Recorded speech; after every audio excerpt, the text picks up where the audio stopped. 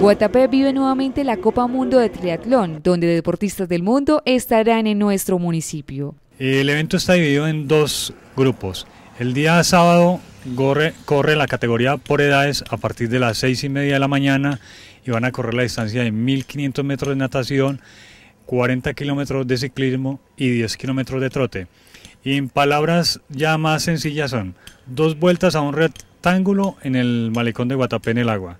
Luego hacen cuatro vueltas de ciclismo de aquí hasta Casadiana, cuatro veces ese recorrido en ciclismo y terminan haciendo otras cuatro vueltas de atletismo o trote en un circuito desde acá del parque del municipio hasta la Villa Náutica. Es el recorrido del día sábado que inicia a las seis y media de la mañana y es la categoría de Copa Colombia o grupos por edades. El día sábado se realizará la competencia por edades y el día domingo se correrá la categoría élite y donde el llamado a la comunidad es a disfrutar de este evento deportivo. El día domingo tenemos el evento a partir de las 7 de la mañana. Eh, tenemos participación de 14 países, entre ellos está Brasil, México, Cuba, Estados Unidos, Argentina, Chile, los que recuerdo así, Colombia. Y tenemos participación de 38 deportistas varones y 30 mujeres. Entre los deportistas varones y mujeres hay personas que no han bajado el ritmo de, de correr que vienen de los Olímpicos. Eh, y muchos vienen también por su premiación pues, en la parte de, eh, dinero en efectivo y comenzar a sumar puntos para los Olímpicos de Brasil. Vienen en Ellos inician, las damas corren a las 7 de la mañana. ¿Qué distancias? Las mismas del día sábado, que son 1500 de natación, 40 kilómetros de bicicleta y 10 kilómetros de atletismo. Una vez terminan las damas, que aproximadamente están demorando 2 horas, 2 horas 10, a las 10 de la mañana está saliendo la categoría Elite de varones. Distancia, 1500 de natación, 40 kilómetros de bicicleta y 10 kilómetros de atletismo. Eh, recuerden que todo este evento es acá en la plaza principal del municipio. Meta, zona de transición, es todo en la plaza principal. Bueno, les cuento que a partir del día de mañana eh, la entrada mm, de vehículos al parque va a ser, no va a haber entrada de vehículos.